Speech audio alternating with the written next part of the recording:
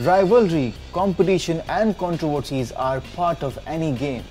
These two South American countries, Brazil and Argentina, have always been in the news for their rivalry. It is the greatest rivalry in football. The rivalry was made stronger due to the Pele Maradona factor. There have also been numerous incidents of fan violence and taunts being exchanged during matches and afterwards.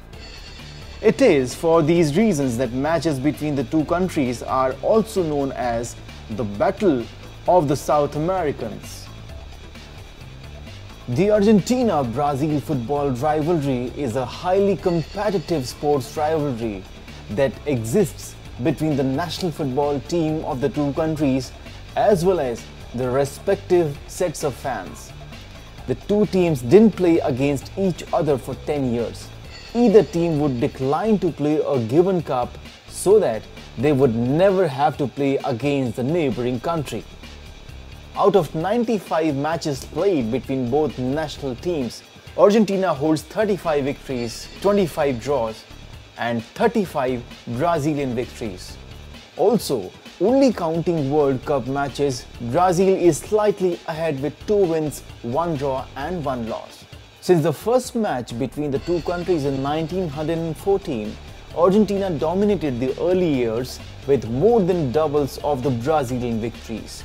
This is even when Brazil was world champion in 1958 and 1962. However, the 1970s proved to be dark times for Argentina with 7 defeats, 4 draws and only one victory. Although it should be mentioned that one of the draws came in the 1978 World Cup played in Argentina. The draw match actually helped Argentina reach their second World Cup final and their first World Cup title.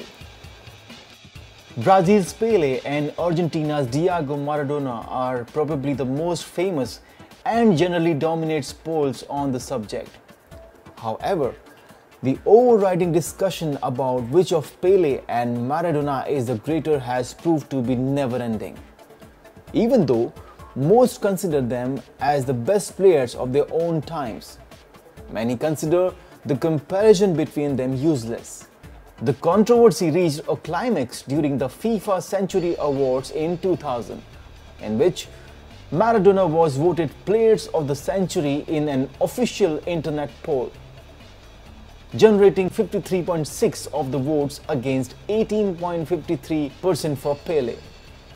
Shortly before the ceremony, FIFA unexpectedly decided to add a second award and appointed a football family committee composed of football journalists that gave to Pele the title of Best Players of the Century to make it a draw.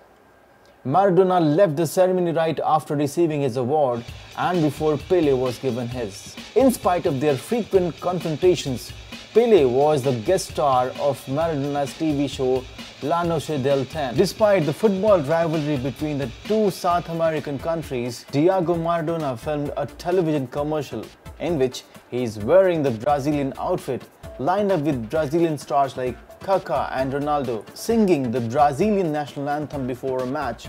He then wakes up from the nightmare where he can be seen wearing an Argentina national shirt in his bed next to a bunch of empty cans of Guaraná Antarctica, a Brazilian traditional soft drink.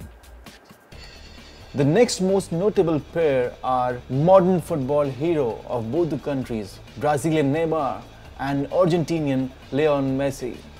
Both Pele and Maradona have declared Neymar and Messi their respective successors. FIFA World Cup 2014 have already started. Brazil and Argentina, both the teams are playing very well. Let's wait and watch who is going to perform better and inspire their fans in this World Cup. See you next time with some other rivalry of football nations.